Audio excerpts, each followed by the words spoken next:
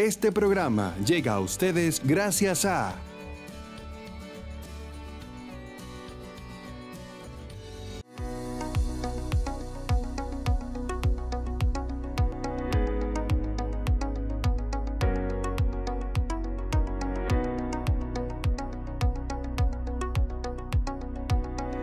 Bienvenidos sean ustedes a una entrega más del programa Vida y Salud en Comunidad.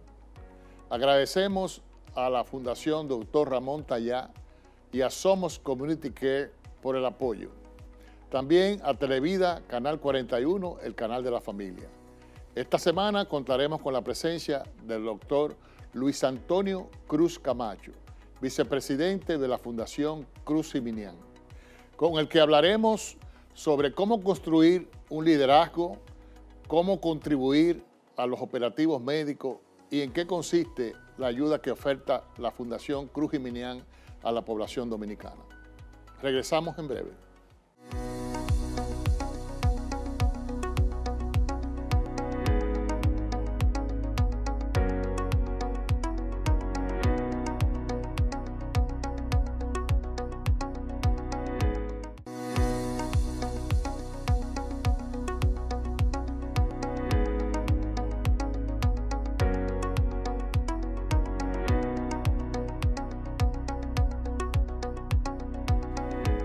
Estamos de regreso con el doctor Luis Antonio Cruz Camacho. Luisito, mira, qué gran placer. Eh, el doctor Luis Antonio Cruz Camacho es un joven médico dominicano que ha ganado eh, reconocimiento social por la población de una manera eh, significativa. Yo lo conozco porque fui su decano en la Facultad de Medicina de UNIBE, de donde él es egresado. Y es un grato placer haber tenido al doctor Cruz Jiminián aquí, su padre, y ahora poder tener la entrevista con el doctor Luis Antonio Cruz Camacho, que es una persona que garantiza el relevo generacional de la clínica Cruz Jiminián y todos sus proyectos. La primera parte, Luis, es conocer a Luis Antonio. Dónde tú naciste. Ya hemos adelantado que eres el hijo del doctor. El único hijo varón. El único hijo varón. son, tres, son cuatro. Exacto. Entonces, eh, cuéntanos un poquito de, de, Luis Antonio que la gente no conoce. De verdad, en primer lugar, darle las gracias, doctor, por permitirme estar aquí en su espacio, en la cual para mí es un privilegio compartir eh, esta, entrevista con una persona que fue, y fue mi profesor en su momento, mi decano también, y aparte de eso compartí como colegas y para mí una persona que respeto y admiro mucho. Así que muy agradecido, doctor, por invitarme y por tenerme presente. Un sentimiento mutuo. Gracias, doctor. De verdad que, doctor, la primera pregunta es una pregunta que casi ni me gusta hablar mucho, porque la gente cree que lo que ve en las redes sociales o lo que ve en la televisión uno no se divierte, que uno no tiene vida. Luis Cruz es un ser humano, igual que todo el que nos está observando, igual que todo el que está aquí, eh, que le gusta disfrutar, que tiene su hobby, que tiene su, ambiente. Tal vez a mí no me gusta lo que le gusta a otras personas, pero por ejemplo, me gusta la pelota. Yo soy obsesionado con el Licey y con los Yankees. O sea, yo siempre digo que mi poco dinero que yo creo que gano, yo lo gasto visitando el play, porque no solamente voy aquí, trato de visitarlo en las provincias, porque lo disfruto. Es un, como un momento de, de, desconectarme un poco del trabajo. Ahora bien. Pero tú eres, tú eres un fanático... Eh, peleón. peleón. Yo no me, gusta perder. Entonces yo sufro, sufro mucho con el, con el liceo. Ah. Pero eso es parte de la experiencia, doctor. Eh, y cuando nos vamos a los tiempos de atrás, soy un joven de 28 años, la gente me pregunta, ¿por qué medicina? Bueno, mi ambiente de juego, donde yo jugaba en mi, cuando tenía 5 y 6 años, era la emergencia de la clínica Cruz Minier. Y es bueno destacar que Cristo Rey, hace 10, 15 años, era uno de los barrios más peligrosos que existía en la República Dominicana. Ya hoy en día ha cambiado. Hay un antes y un después en Cristo Rey. Anteriormente había bandas y choques entre Campotillo, los Pepe, los Macheteros, entre otras bandas, que siempre se veía y observaba que en la emergencia clínica Cruz Minian era con machetazos, tiroteo, y dentro de la emergencia se lograba ver cómo mataban a otra persona, remataban a otra persona dentro de emergencia. Y ese era mi ambiente, ver la, sangre, la sangre, pasar visita con mi padre a las 5 de la mañana, fue siempre una cultura desde que tengo memoria. Y toda esa vivencia que vi y esos valores que él me enseñó, me incursionó hacia lo que más eh, conozco y me gusta, que es la medicina. Y he podido plasmar esa medicina social y sigo esa labor del doctor Félix Antonio Cruz Minian, pero a mi manera, a mi estilo, sin tratar de llenar un zapato, sin meterme como al principio querían, que todo el mundo me metiera en una cultura de terror, de que tiene que llenar un zapato, de que tiene que ser igual que el doctor Cruz Minian. No, yo simplemente hago los valores y la enseñanza que él me enseñó durante los años a mi forma, que yo sé que lo estoy haciendo bien. Ustedes son cuatro hermanos. Somos tres hembras, eh, una doctora, una publicidad, una administradora y yo soy el más pequeño y el único varón. O sea que tú eres el Benjamín y el único médico. Sí, sí. No, bueno, tengo la más grande que es la encargada de la emergencia de pediatría de la clínica. Y además de ser un furibundo liceísta, eh, ¿qué le gusta comer a Luis? ¿Qué no le gusta comer? Usted sabe que siempre el ambiente familiar anteriormente eran los operativos médicos que realizaba el doctor Cruz y en ese momento él, él hizo una RS que era la ARS Cruz Minian en el 2004-2005, eh, que hoy en día es ARS Renacer, que lo vendimos y ya con ese nombre, pero anteriormente se llamaba Cruz Minian. Como el doctor no tenía conocimiento de aseguradora, teníamos que visitar todas las alcaldías y los sindicatos para convencer que venga para esa aseguradora. Y entonces mi tiempo familiar era visitando y trabajando los operativos médicos y la charla en la alcaldía o en ayuntamiento en ese momento para convencerlo que venga la aseguradora. Entonces, no había una comida de arroz, habichuela, carne, no, era o pollito para entretenerme, para hacerme feliz, o pizza. Y por eso que hoy en día me, no soy muy de comer saludable. Lo mío es comer pizza, me gusta la empanada de, la frente de la clínica, un sándwich de la cafetería. Todo lo que pueda ser no saludable, creo, es lo que me gusta Luis Cruz, pero lo disfruto. Y yo siempre le digo a la persona que yo tengo tres placeres en la vida. Comer, un buen juego de pelota y tal vez leer un libro o ver una película, que es lo que más me gusta ver en esa parte. Pero ya después de ahí, esa es mi vida y dedicarme a la parte social, que lo vivo y lo disfruto demasiado. ¿Cómo maneja Luis, Luis Antonio el estrés? hay gente que le da por hacer kickboxing, hay gente que le da por bailar. Yo, yo trato de correr, pero el tiempo no me lo permite. Siempre intento en el jardín botánico un buen espacio eh, para despejar la mente, pero como el tiempo no me lo permite, lo que hago es que en las carreteras trato de que el equipo no me hable y me desconecto. Eh, le pido que en ese trayecto de carretera trato de despejar la mente, de escuchar la música a, alta, alto sonido y ahí entonces... ¿Qué, música te gusta oír? Yo, yo escucho de todo, depende del ambiente, depende del momento. Yo hasta bachata, merengue, salsa. ¿Y tu artista favorito? Depende del género, pero si nos vamos por bachata, Anthony Santos, si nos vamos con música de antes, Sandro de América, por mi padre, Charles Aznavour, y si nos vamos con un reggaetonero, es Baboni, o sea, yo, yo me adapto a, los tiempos. Y si nos vamos con un dominicano de vocero, eh, el alfa, pero yo me adapto a cualquier género, porque cuando uno comparte con todo el tipo, con todo eh, lo dominicano, uno se adapta a ello. Por ejemplo, yo no voy a ponerle eh, o, a exigirle, ponme esta música o dame esta comida, porque yo voy a una comunidad y me adapto a su estilo, me adapto a su cultura, me adapto a su comida y comparto con ellos esa parte. Eh, yo creo que eh, Luis Antonio es un, es un digno ejemplo, ¿verdad?, de lo que cualquier padre quisiera... no somos perfectos, doctor. No, no, no, eso lo sabemos. Yo, era, DJ antes de ser médico. ah, mira, sí. tú ves, explícanos eso. Yo cuando estaba, estudié en el Colegio Río Hondo, en séptimo de básica, y logré convencer a mi madre que me pusiera un curso de DJ. Cuando eso eran dos, cosas, dos, eran tres, un mixer y dos platos que se llamaban, y eran con CD. Y tenía que tocarle por aquí para que no se rayara el CD. Y entonces me metió en ese curso, me acuerdo que en ese momento era DJ Pars, un DJ bien famoso en ese momento. Eh, duró dos meses la, la, clase y logré entonces conseguir mi primera fiesta por 3 mil pesos, unos 15 años. Y logré posicionarme, yo tenía mi tarjetita ahí toma, a todo el, todo el colegio. Y mi padre se dio cuenta de esa tarjetita, que era DJ Electro, que se llamaba. Y en ese momento, cuando él vio eso y vio el ambiente que yo estaba, me mandó por una academia en Estados Unidos sin pensarlo. Me acuerdo que fuimos en Semana Santa a ver la academia y ya en un mes ya yo estaba apuntado en esa academia para ir en julio.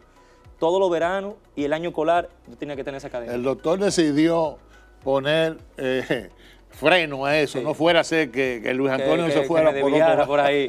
Porque en verdad eh, estaba muy, muy acelerado en ese momento. Eh, fue, no fue una experiencia mala porque uno conoce muchas personas, pero no era mi, no era mi mundo.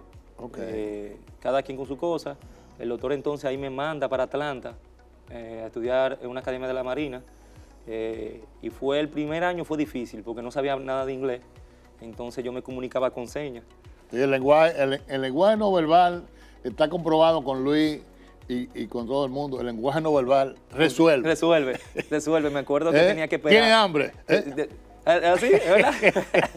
no, y lo, y lo peor de todo, que en esa academia eh, no eran, era un poquito racista y los latinos. Entonces me pusieron de compañero de habitación. Yo nunca había dormido con, con una persona. Primero un, un compañero de habitación con, con problemas, con, que no sabía hablar español. Y tenía problemas con una novia, estaba enamorado. Parece que lo llevaron allá para despejarla de O la sea, él no novia. hablaba español. No hablaba español. Y tú no hablabas inglés. Yo no hablaba inglés.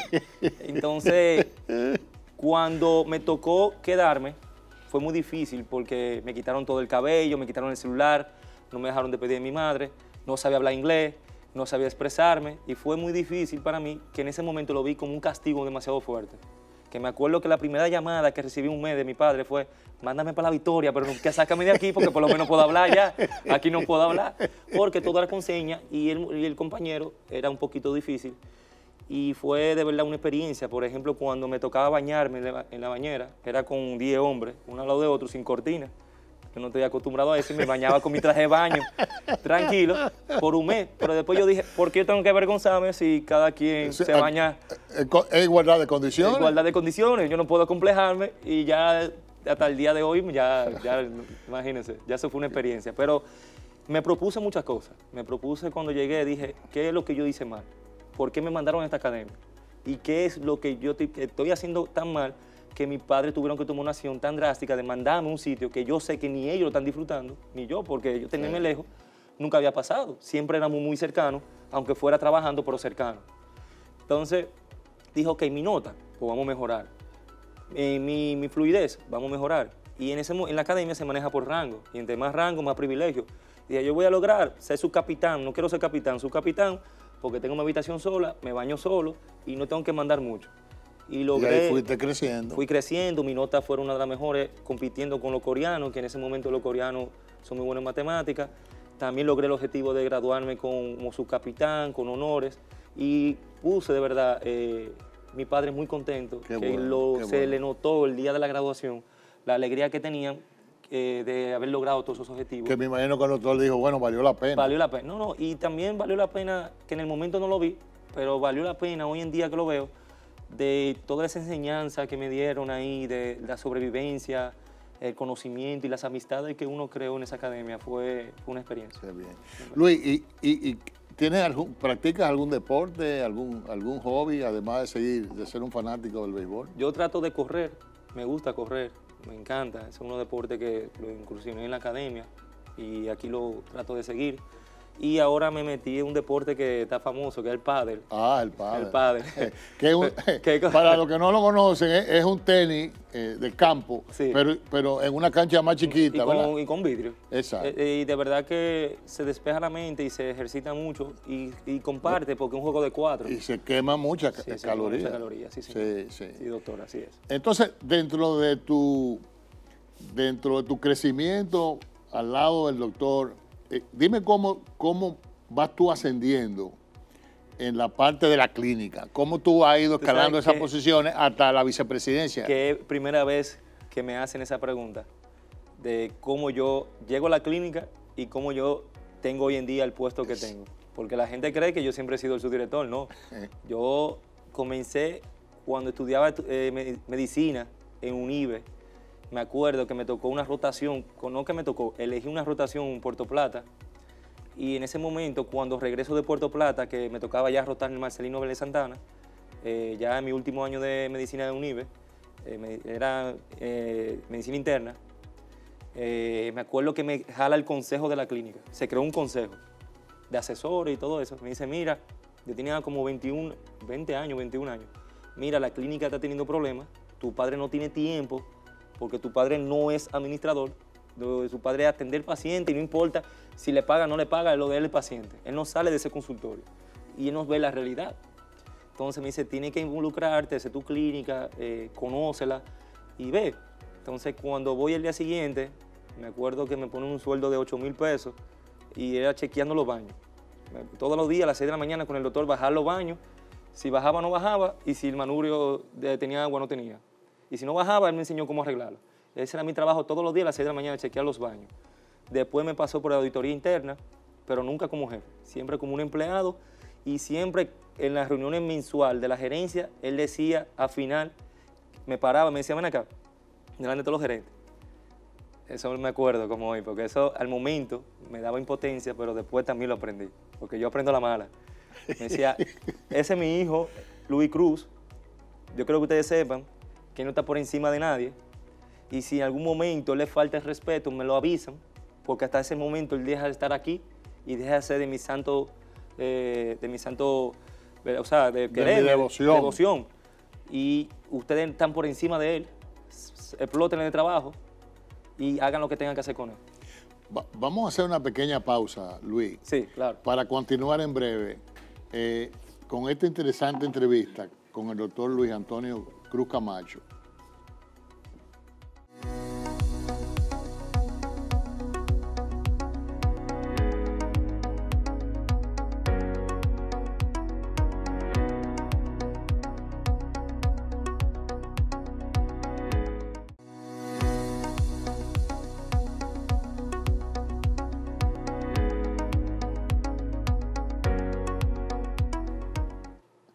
Regreso con el doctor Cruz Camacho y él estaba haciendo una historia que interrumpimos, donde él nos habla de cómo él inicia en la clínica Cruz y Minian, primero de supervisor del área de los baños a las 6 de la mañana, chequeando ¿verdad? si bajaban o no y si tenía agua en el grifo. Y de ahí a la parte no administrativa. Ahí fui ya entonces incursionando en cada área, pasé por auditoría interna, eh, pasé por planta como médico, pasé por emergencia y fui incursionando cada tres meses por un área diferente para ver cuáles eran las debilidades que tiene la clínica, pero por debajo de todos los empleados. Tenía que ponchar, tenía que irme tarde, me acuerdo que mi hora de entrada era a las 6 y me iba a 8 o 10 de la noche, pero era buscando y tratando de ayudar. Crear una cultura de trabajo. Exactamente, que no la tenía en ese momento, porque en ese momento no lo que pensaba en diversión, un estudiante de medicina, aquí eh, recién llegado de Puerto Plata, que Puerto Plata uno estaba eh, con playa y todo eso, digamos, que nunca había trabajado así, sí los fines de semana en un pueblo, porque eso nunca se ha perdido, pero un día horario laboral y cumpliendo reglas, nunca había tenido ese placer y de verdad que fue una experiencia. Ahora bien, ya cuando ya me quedan seis meses para graduar, me dan lo que es la asistente de la administradora. Ojalá que no vea este programa la administradora, porque ella, que ya no es la administradora, pero ella, y yo chocamos mucho. Y no por mal, porque ella de verdad le dedicó mucho tiempo a la clínica y hizo su gran trabajo. Digo que ojalá que no lo vea, porque el trabajo más difícil que yo tuve fue ser asistente.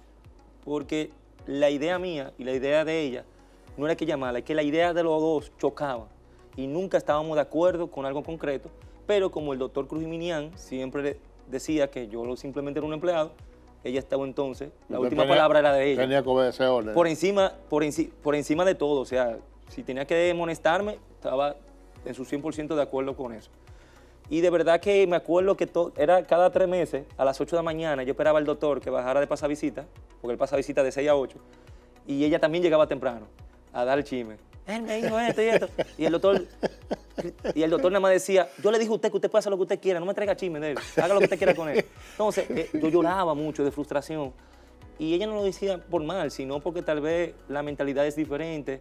Ya era una persona que tenía 30 años ahí trabajando y los jóvenes venimos con ideas nuevas, más imperativos, más, más acelerado y uno se frustra. Pero fue un sedazo más, porque pasaste por la academia militar. Fue, fue varios eh, eh, sedazos que me dieron el ir subiendo, ¿verdad? Por el calafón. Fue, fue difícil. Eh, y tú estás ahora mismo como su director. Ahí voy. Cuando el doctor se enferma con el COVID, COVID que me acuerdo como hoy en día, que fue, él ya tenía tres días con COVID, que lo, eh, en ese momento las pruebas eran difíciles, escasas, nadie conocía COVID, en ese momento estaba famoso el italiano de Ramón de Lara, el primer paciente de COVID, El, doctor se enferma, pero nadie sabe que se enferma. Salió con dengue y salió con COVID. Entonces, ¿qué pasa con eso? El domingo el doctor sigue enfermo. El lunes nosotros vemos que él sigue con una fiebre en 40 en la habitación y ahí es que decidimos llamar al CRUE o la ambulancia, el 911, para que lo traslade a, a la Plaza de Salud. Nos habían llamado que no, que lo lleve Ramón de Lara, porque Ramón de Lara es el hospital cabecera y que él es el que más conocimiento tiene. Dije, no, para Ramón de Lara no, porque un hospital militar, nos van a poner muchas reglas y no no nos van a dejar ver y para tener información es medio complicado. Vamos a la Plaza de Salud. La Plaza de Salud en ese momento no tenía un área de internamiento de COVID porque era nuevo, nada más era el hospital de Ramón de Lara. Y me acuerdo como hoy en día, me, yo recibí mucho eh, cuestionamiento, que por qué yo la llevo a la Plaza de Salud, que si mi padre se muere yo soy el culpable y todo eso. Pues nada, me acuerdo que a las 9 de la noche llevamos el doctor de la casa a la Plaza Salud un lunes a las 9 de la noche. Mi madre y yo atrás, era toque de queda, pero como íbamos con la ambulancia, llegamos a la plaza. Ahí estaba Franklin, Franklin Gómez o Franklin Peña, que era mi emergenciólogo. Franklin Gómez. sí. Gómez. Sí. Me acuerdo. Y cuando nosotros desmontamos por la, a la plaza a verlo a él, cuando le decimos, ¿y el doctor? No, ya lo entramos por una puerta secreta que tenemos por atrás, ya no lo pueden ver, venga mañana. Yo, bueno, como los otros, él estaba hablando normal, el doctor mismo se fue que se montó en la ambulancia y todo. Y yo, bueno, como él está bien. El martes, yo voy a las 6 de la mañana, veo al doctor Gamaliel Matos, un gran intensivista, claro, claro. que tiene mi respeto y fue para mí el que salvó él y el equipo médico, excelente. excelente profesional. Me dice a las 11 de la mañana que él llega, mira, tu padre está bien, lo vamos a trasladar a una unidad nueva que vamos a abrir de COVID, porque este, este es una unidad intensivo eh, de respiratorio, lo vamos a trasladar aquí para que tenga conocimiento. Él pide una Biblia, me dijo, le buscamos la Biblia, se lo dimos. Y si tú lo quieres ver, ponte para allá, como a 500 metros, que lo vamos a sacar de esta unidad para que tú lo veas. Eso nunca se me va a olvidar. Cuando lo sacan, lo sacan en la cama eh, con la sábana. Rápido, todo el mundo vestido de blanco, usted sabe que en ese, mi- en Sí, ese sí, momento sí, era miedo. sí. Astronauta todo el mundo. Eso nunca se me va a olvidar. Yo estaba parado de lejos, yo era el único que estaba ahí porque mis hermanas estaban, como estaban, estaba bien, nadie estaba preocupado. Me voció cuando salió, Luis. Y yo le dije, papi, pero no pude decirle más nada. Y dije, bueno, está todo bien, voció por lo menos. A las dos yo me fui, ya Gamaliel me dijo, vete, que ya tú no tienes nada que hacer aquí, me, me voy. Me llama mi hermana mayor. Mira, hermanito, regresa, que están llamando allá, que hay que firmar un consentimiento informado, por si acaso, si hay que entubarlo, etcétera, etcétera. Yo también voy. Firmo mi consentimiento a las 6 de la tarde. A la 1 de la mañana me llama mi hermana llorando que mi papá se va a morir, porque la intensivista, la intensivista que amaneció con él, que le intubó, es amiga de nosotros y trabaja en la clínica y trabaja eh, y teníamos conocimiento y nos informó, mira, tu padre hizo una hemorragia velar, estaba en 70 saturando, lo tuvimos que entubar eh, para que tenga conocimiento. Yo dudo que él pase estas 24 horas. Entonces me acuerdo como esa noche, wow, fue difícil. Me metí en la lavandería de la, de la habita- de la casa a llorar hasta las 6 de la mañana. Y ahí fue que decidimos a las 6 de la mañana, mis hermanas y yo, ir a ver qué estaba pasando, la realidad, pero no solo eso, llevamos los tres mejores médicos de la clínica, o no los mejores, porque todos son buenos, Sí, sí. los tres mayores de confianza, que, que nos iban a decir la verdad, que le tiene un aprecio muy grande al doctor y que como familia, que nos digan la verdad, porque, porque a veces uno como médico no quiere aceptar. Cuando vamos a las 6 de la mañana sale el intensivista y nos enseña la placa, nos enseña todo. Y yo nada más le pregunto al que, a los tres doctores, díganme ustedes su opinión. Y ellos mismos se pusieron a llorar diciendo que mi papá se iba a morir. Y ahí fue que nos dijeron que, que, esperábamos, que esperábamos el teléfono ahí para, para la última llamada ya. Yo me acuerdo que salí al parqueo, mis hermanas, y ahí fue que yo rompí el vidrio, lloramos, duramos como una hora. Fue, fue un momento terrible. Para no, yo no, ni quiero pensar en eso, ni quiero hablar de eso. Ahí se lo dije a mi madre, ahí fue que se destapó la noticia. Me acuerdo que por el desespero llamé a Danilo Medina, le dije que por favor me ayude. Por eso yo le tengo un agradecimiento enorme, porque él me puso a, Gustavo Montalvo a reportarme la salud de mi padre cada dos horas. Y al doctor Bienvenido Peña, que también fue un gran colaborador, y Sánchez Cárdenas.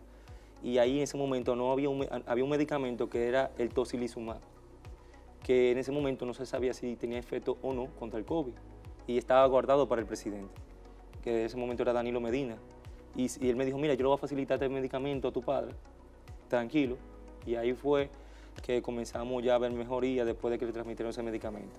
Pero para no alargar la historia, eh, ahí entonces cuando mi padre se enferma, yo tuve problemas en la clínica. La clínica tenemos un flujo de 3.000 pacientes diarios. Wow. tenemos 208 especialistas. Recibíamos 800 emergencias. Cuando mi padre se enferma, se regó la voz de que la clínica estaba contaminada de COVID y que no vayan allá, que Salud Pública iba a intervenir. Mentira. Pero usted sabe cómo son las redes sociales y me acuerdo que de 3.000 pacientes comenzamos a ver un solo paciente 24 horas. Wow. La nómina insostenible, todo fue un dolor de cabeza y me acuerdo que ahí fue el administrador en ese momento no, no podía ir por su edad. Usted sabe que estaban diciendo que la gente mayor de 60 años, Sí, con sí. condiciones, no podía trabajar y ahí es que entonces yo asumo la responsabilidad. Entonces comienzo a buscar la forma, a crearle confianza a la gente para que vaya. Terminé una unidad nueva que había, que estaba en construcción, la terminamos con unos fondos que estaba guardado para hacer una unidad de COVID. Y entonces la clínica ahí comienza a despegar por las nubes. Y el consejo decide, mira, la administradora vamos a dejarla para un lado, vamos a ponerte a ti, creemos que tú tienes la capacidad ya para asumir la responsabilidad y por consejo vamos a votar que tú tienes ya el don para manejar las empresas de la Cruz Jiminián, que es la fundación, el centro oncológico y todo eso, y estamos del voz de confianza y hasta hoy en día, después de Wow. eso, es que estamos manejando la clínica Yo no, yo no creo que, que, eh, tú hayas, eh, o sea, haya algún programa que, que pueda haber recogido ese, ese andar, ese crecimiento tuyo. No, nadie, nadie sabe Eh, eso. Y, na- y mire, y le voy a decir algo, doctor. Nosotros, herma- mis hermanas y yo, no somos muy afectivos a nuestros padres, a mi madre y mi padre, porque nunca nos enseñaron a ser muy afectivos. Siempre éramos eh, ver un, mi padre... Gente de trabajo. Gente de trabajo, el trabajo y el trabajo. Nunca había un te amo de por medio, nunca había un almuerzo familiar, nunca había nada familiar. Entonces, doctor, eh, ver ese momento, yo me acuerdo que lo, lo único que yo quería, y por eso fue que llamé al presidente Danilo Medina, no era que me diera un medicamento, era que por favor hablara con el consejo o con el patronato de la Plaza Salud para que me dejara entrar a mí y mis hermanas para darle un último abrazo al doctor Ok. Cruz. Y eso nos marcó tanto que hemos intentado crear ese vínculo familiar hoy en día y que lo hemos logrado, porque hay más unión, hay más comunicación, hay más... O sea, que fue una, familiar. fue una experiencia. Todo ha cambiado. Qué bien. Todo ha cambiado. qué bien. ¿Verdad que la- el COVID fue algo de mucha experiencia que nos ayudó a hacer un antes y un después en la familia y en las empresas? Qué bien. Mira, Luis, eh, esta es la primera vez que yo abro el, el celular aquí en, en el programa. Y, y yo no soy muy, eh, muy redes sociales, o sea, no soy muy experto.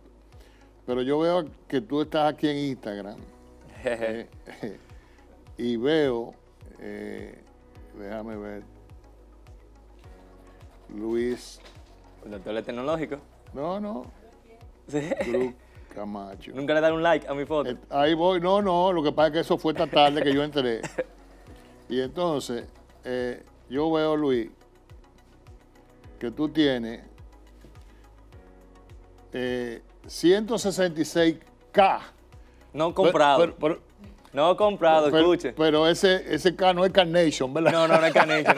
¿Sabes que mucha gente dice que, que, que tú lo compras? Valga la cuña. Hay amigos tan descarados que me preguntan si yo lo he comprado. Digo, pero que yo gano comprando seguidores. O sea, al final, yo no lo compré.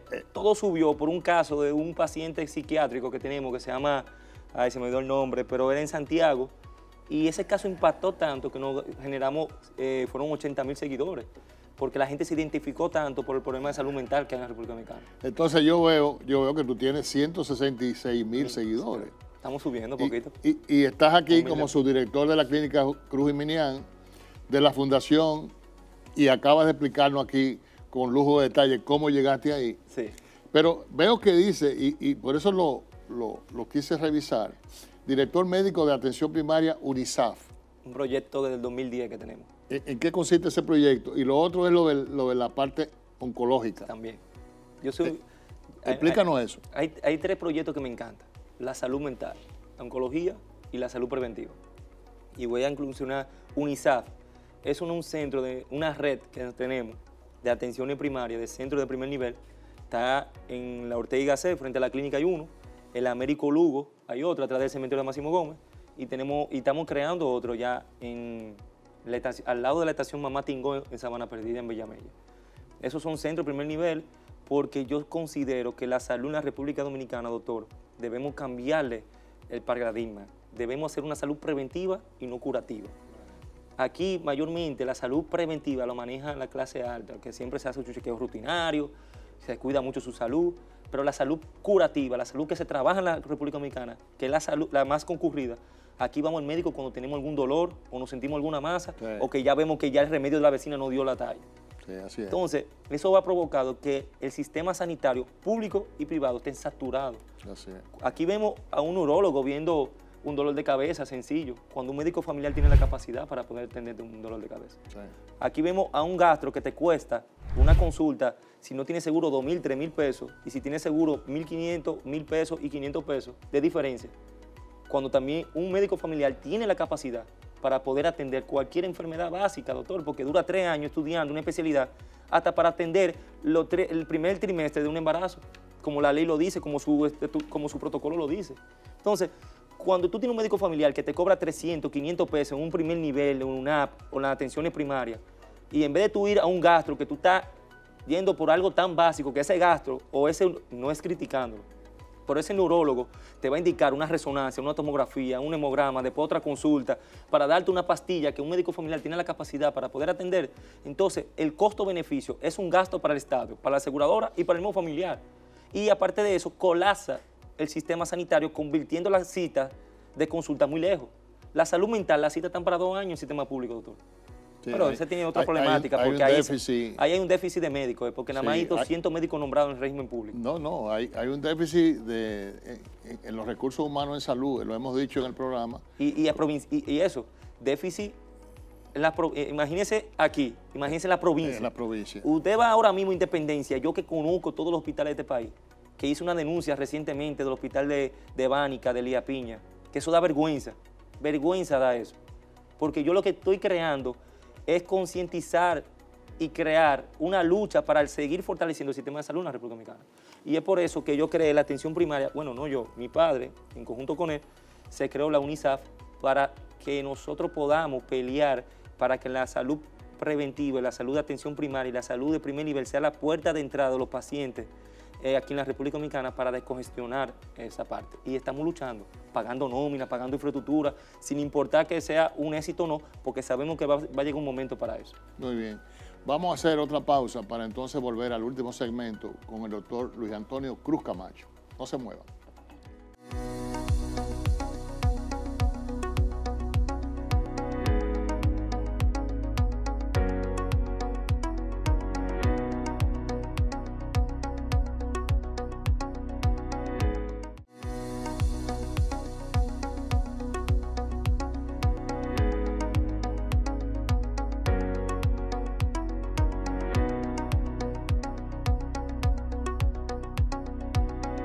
Estamos de regreso con Luis Antonio Cruz Camacho. Y detrás de la, de la cámara, el señor productor le pregunta a Luis de, de su profesor y su decano. Y, y entonces yo le había dicho al mismo Luis en el camerino que, que él era un estudiante común y corriente, pero que era de, del tipo de, de estudiante que qué gratificante es ver su liderazgo después de haberse graduado de médico. Entonces yo le decía, eh, y en el momento que él se gradúa teníamos el, el lema de Forjando Líderes del Mañana, Sí. que qué mejor premio para, para un decano, para un profesor, que uno poder ver el liderazgo trascender de una persona como él.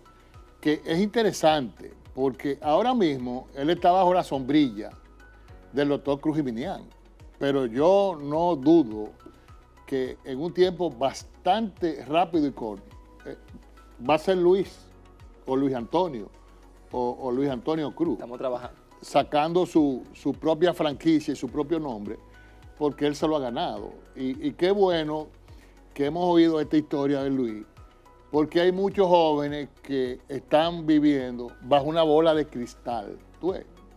Y, y el doctor Cruz Jiminián fue, lo entrevistamos aquí, nos dio el testimonio de cómo él salió ¿verdad? En, en su familia desde abajo hasta la posición que tiene. Y obviamente todos los padres lo que andan buscando a sus hijos es que no pasen los trabajos que pasaron. Entonces, ese testimonio, eh, él le pregunta también, el, el- el productor de, eh, el director del programa, eh, ¿verdad? Que cómo soy yo, cómo era yo. Y, y Luis no, no, no mintió, ¿verdad? Y todo el que me conoce sabe, ¿y cómo fue que le dijiste? Estricto. Estricto. Estricto. todo, todo, todo el que estudió medicina o estudia medicina en UNIVE sabe que el doctor Marco Núñez, tal vez aquí estamos riéndonos mucho, pero en ese momento era muy, un profesor muy estricto. Pero, pero es normal, un médico con un gran trayecto, un médico cirujano de mano, o sea, un país que no tenemos, ahora tal vez tenemos mucho, pero en ese momento hablar de cirugía de mano era algo magnífico. Eh, y de verdad con ese trayecto y tenerlo dando clases era un privilegio y más que era el decano de, medicina y es el decano de medicina. Pero me acuerdo que cuando uno salía de esos break y veía que el decano venía caminando, uno se escondía porque dice, ahí viene el decano, cóndete. Pero sí, eh, eh, pero en verdad era un profesor muy estricto, pero se aprendía. Me acuerdo que mis compañeros me decían, cuando un estudiante no tiene el interés, o no le gusta la clase, créeme que por mejor que sea el estudiante, sale del curso, se la pasa afuera, regresa, nada más pasa para la asistencia. Y me acuerdo, como hoy en día, que en, el edificio principal en Francia 1, que llegué a tomar clase con el profesor, todos los estudiantes estaban ahí desde el inicio hasta el final con el profesor Marco Núñez. Eso era un privilegio de verdad tener. Bueno, el entrevistado... Eh, yo no gano nota por esto, lo estoy diciendo de verdad. el entrevistado es, Luis, no soy yo, pero queríamos aclararle al, a Alex eh, que hizo esa pregunta tras bambalina de, del profesor y del alumno. Y yo testifico que definitivamente el liderazgo que ha mostrado Luis después de graduado está muy, muy por encima de las expectativas eh, de cuando él terminó. Y qué bueno, ¿no? Porque el país necesita mucho liderazgo como él. Eh, Luis, háblanos ahora un poquito de la parte de los operativos de salud. Eh, y, buscando también en, en lo que tú llegabas al canal, que llegaste temprano, pero yo vine mucho más temprano por asunto del tránsito. ¿En qué consiste en esos operativos de salud? ¿Cómo, es la logística? Y, qué es lo que es la visita de la salud? Que me he encontrado cuando lo leí, que es, un, eh, es una manera impactante y diferente de darle servicio a la población. Así es, doctor de verdad que gracias por esa pregunta, porque así voy a poder plasmar lo que es la visita de la salud. Nosotros, cuando asumí la responsabilidad de la fundación, una de las actividades que hace la fundación es los operativos médicos. ¿Qué nosotros buscamos como operativo médico? Nosotros no buscamos sanar, no buscamos atender una atención médica como si fuera una clínica. No son las condiciones adecuadas para atender una enfermedad. Ahí lo que buscamos es concientizar, educar y prevenir o trabajar una salud preventiva en los lugares remotos. Con esos operativos hemos detectado muchísima diabetes, muchísima hipertensión de usuarios que no tenían conocimiento de que pasaban por ese tipo de cosas. De personas que no tenían ni conocimiento que eran eh, hipertensos porque por desconocimiento o por falta de acceso a una salud no tenían esa facilidad. Y gracias a ese operativo, primero, cuando lo detectamos, le damos su tratamiento por lo menos por los tres primeros meses. Lo incursionamos a guiarlo y asesorarlo y educarlo de cómo debe llevar su vida después de que se, detecta esa parte. Y que también visita su lugar más cercano, concientizarlo, porque una de las problemáticas que hay en la República Dominicana es la falta de educación y, concientización y de confianza del usuario a los hospitales en la provincia lejana. Entre más lejos usted se va, doctor, mucho peor es la salud en la República Dominicana. Y ojo, no quiero decir o juzgar todos los años, en la, en la salud en la República Dominicana hay un antes y un después. Si miramos antes de 2003, antes de las aseguradoras, cuando el seguro social, y miramos ahora que tenemos seguro básico, tenemos un SENASA subsidiado, tenemos hospitales con una infraestructura increíble, tipo americano, los, equipos diagnósticos son de verdad que, que, no tenemos nada que envidiarle, que antes, hace, no antes, que hace cinco años te veía que las personas se tenían que ir a otro país a hacerse ese estudio. Y hoy en día tenemos toda la maquinaria para hacer los estudios y el patológico, que ya referencia acaba de abrir la inmunotoquímica que se tenía que enviar, que la vamos a estar haciendo aquí próximamente en República Dominicana. Es decir, que la salud ha avanzado bastante, pero eso no significa que todavía tengamos debilidades, como por ejemplo si vamos a Elías Piña, a Jabón, a Asua, que todavía tenemos falta de acceso a la salud. Entonces, con ese operativo médico es lo que estamos tratando de concientizar, educar y trabajar una salud preventiva para detectar a tiempo. Y si ya lo tiene, de prevenir que empeore ese paciente. Aprovechar que tú estás hablando de esa parte de prevención, que es parte eh, del mensaje que trae Vida y Salud en Comunidad, eh, para decirle a, la audiencia que la presión alta es asintomática, no da síntomas muchas veces. Y que si usted no se toma la presión, no lo sabe. Exacto. Y que es la causa o una de las causas principales de muerte en la República Dominicana y el mundo, los problemas de presión alta y de presión alta no controlada. Sí. Pero si usted no se toma una glicemia o una hemoglobina glicosilada, no se sabe si usted es diabético o prediabético. Exacto. Y como dice Luis, eh, tenemos que promover educación, pero también que la gente eh, entienda que hay que autocuidarse. Porque no importa que ustedes vayan en un operativo y hagan la labor y detecten y den la medicación por, por- por tres meses, si esa persona no se autocuida y no se preserva. Así es, doctor. Entonces, eh, creo que es, es fundamental. Por- ese, ese casa a casa que ustedes Por hacen. eso, por eso es que nosotros tratamos, doctor, de no solamente ir una vez, porque yo ir una vez no va a impactar. Yo nunca me voy a cansar de educar y sentarme una hora a explicarle de verdad, porque eso me encanta. Ahora bien, ¿qué pasó con el operativo médico? Cada vez que realizamos un operativo médico, que son cinco o seis operativos semanales que realizamos, nos dimos cuenta de algo. Nos dimos cuenta que los pacientes que de verdad necesitan esa jornada médica no van a ese operativo médico.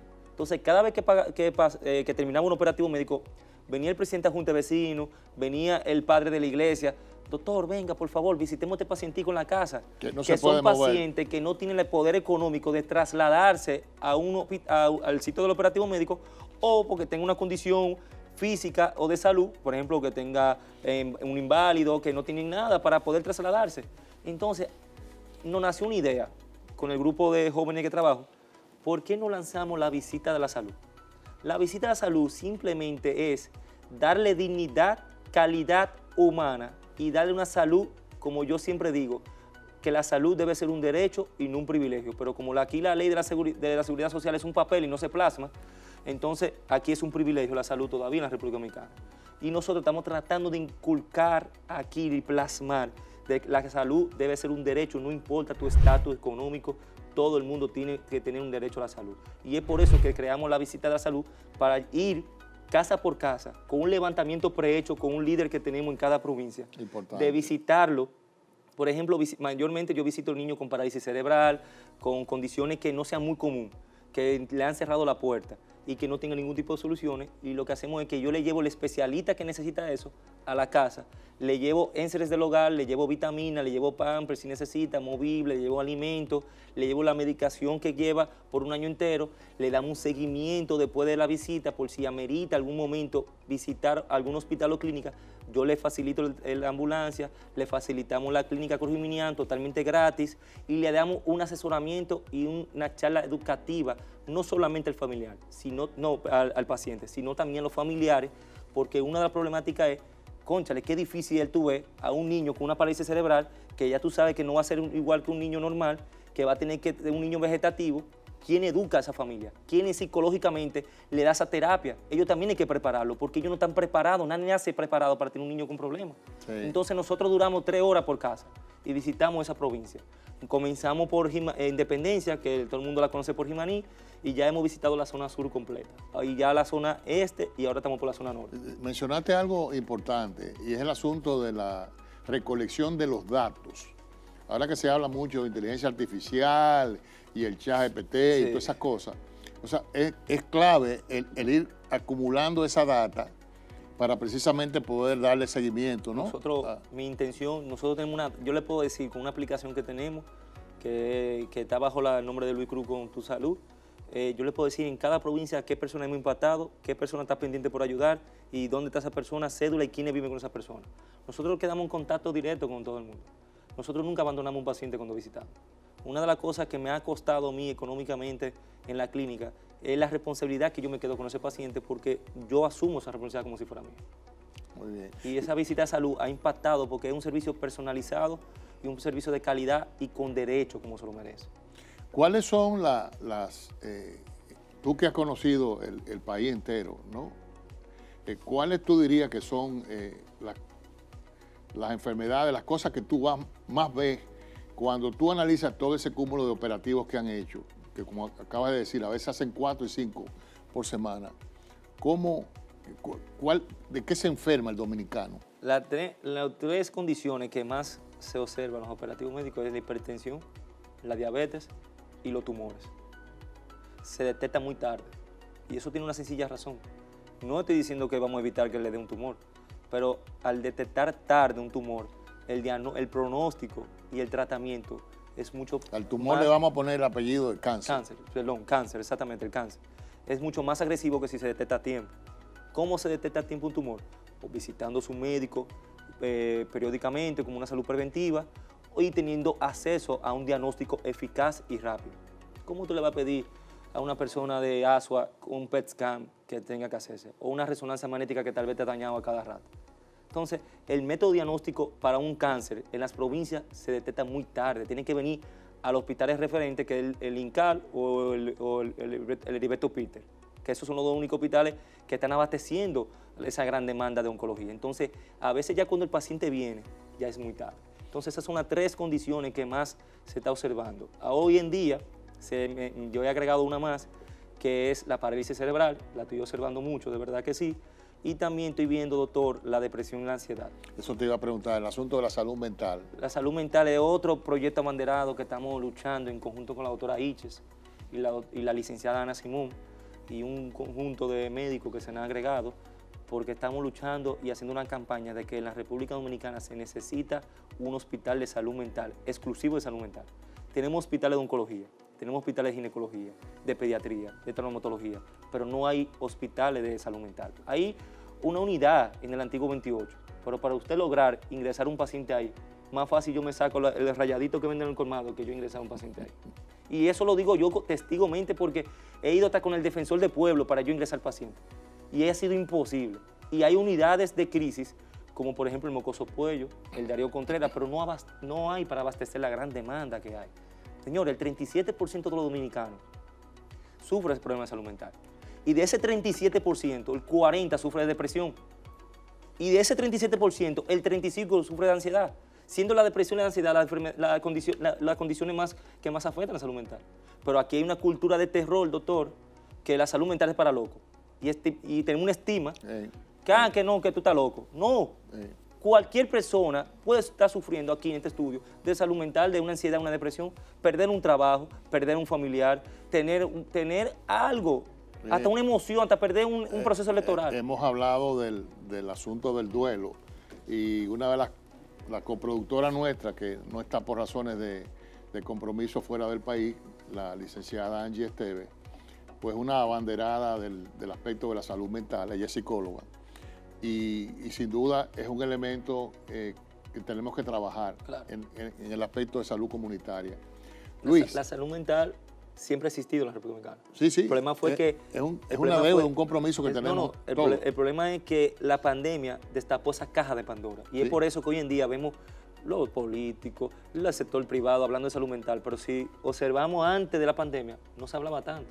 Ahora, la pandemia nos dio a demostrar que la salud mental debe ser incursionada urgentemente aquí Yo he dicho que, el COVID es como eh, el espejo que tenemos en, el baño, que es un espejo cuadrado pequeño, eh, versus un espejo grande de esos desastres, en el que se te ve el cuerpo entero. Así es.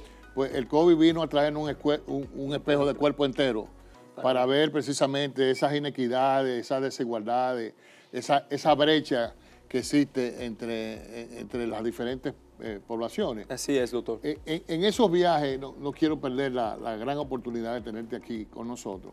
En esos viajes, ¿cómo, está el asunto de la salud del adulto mayor, esa persona mayor de 65 años, que cada vez eh, tenemos más personas? Cada vez tenemos más personas y mucho más propensos a tener enfermedades. Usted sabe que mayormente son enfermedades crónicas, hipertensión, diabetes.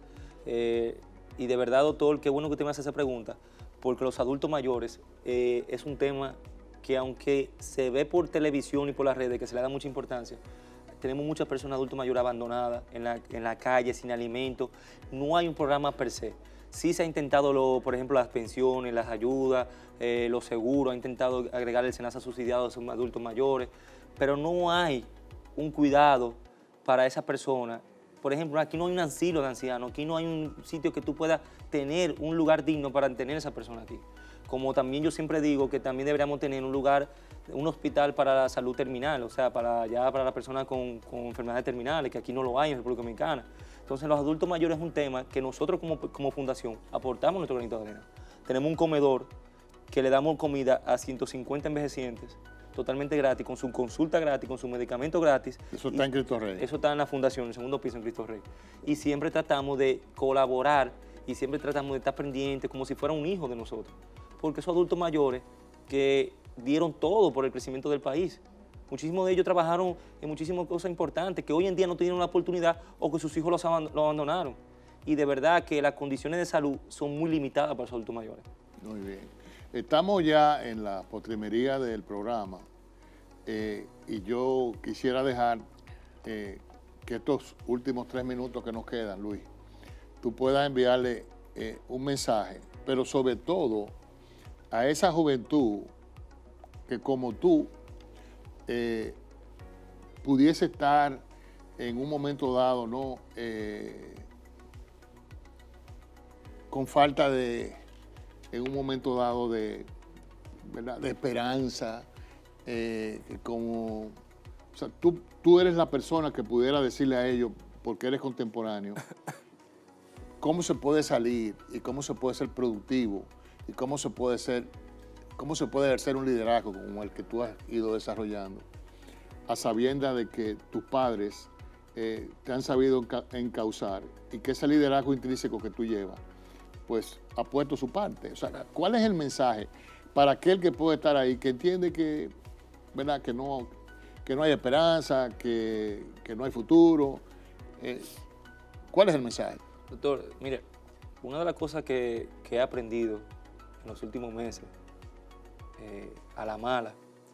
Es que en la vida, y nosotros los jóvenes, que no han dado la oportunidad de tener posicionamiento, de estar en la, mesa pública, de que somos más valorados que antes, por muchísima lucha que se ha hecho en los años, porque anteriormente un joven para estar en un cargo político ni se confiaba, y todavía hasta un joven se graduaba de medicina y se graduaba de especialidad, y para tener un cliente, usuario paciente, eh, tenía que esperar años porque no confiaban. Y hoy en día puedo decir que el joven por lo menos tiene más posicionamiento, ha sido más tomado en cuenta y más valorado. Pero no podemos olvidar algo. La vida, y me lo ha demostrado a mí, no es un juego de carrera, de quién llega primero, yo quiero dinero, yo quiero poder, yo quiero esto. La vida es un juego de inteligencia, perseverancia y de procesos. Todo va a tomar su tiempo. Todo. Yo al principio quería tener todo, quería tener poder, quería tener todo, pero eso es un proceso que llegará a su momento. Y eso me ha ayudado a mí a poder pasar cada proceso como su debido protocolo. Yo he podido hacer mi nombre como joven y ustedes que me están viendo también lo va a hacer. Y todos tenemos la oportunidad y nosotros vamos a seguir luchando para que el joven sea más efectivo, para que el joven tenga más derechos y para que el joven tenga más oportunidades. Porque es verdad que falta, pero lo vamos a lograr, pero juntos pero no podemos dejar embriagarnos por el poder y por el dinero. Eso llegará en su momento, cuando tengamos la madurez para saber manejar todo ese tipo de situaciones. Y luego, ojo, y eso me chocó a mí, porque cuando quise incursionar en la política social, eh, de verdad que quería todo, como todos los jóvenes, ah, yo quiero posicionamiento, posicionamiento social, quería poder para que la gente no viera, no todo llegará a su momento y hay que pasar un proceso para uno aprender y tener esa madurez para cuando el día que llegue uno sepa cómo manejar esas situaciones. Excelente mensaje. Eh, bueno, no nos queda más tiempo. Eh, agradecerte que hayas sacado eh, la, para darnos este testimonio de vida. ojalá ustedes puedan ver en YouTube la presentación que tuvimos con el doctor Cruz Jiminián y la presentación ahora que está realizando el doctor Cruz Camacho, para que puedan ver dos liderazgos diferentes, productivos, eficientes, y que la República Dominicana debe sentirse muy complacida de tener dos ciudadanos como ellos.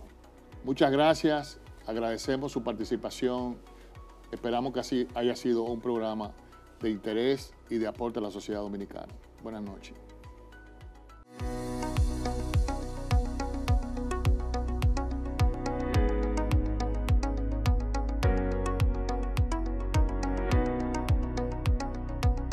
Este programa llegó a ustedes gracias a...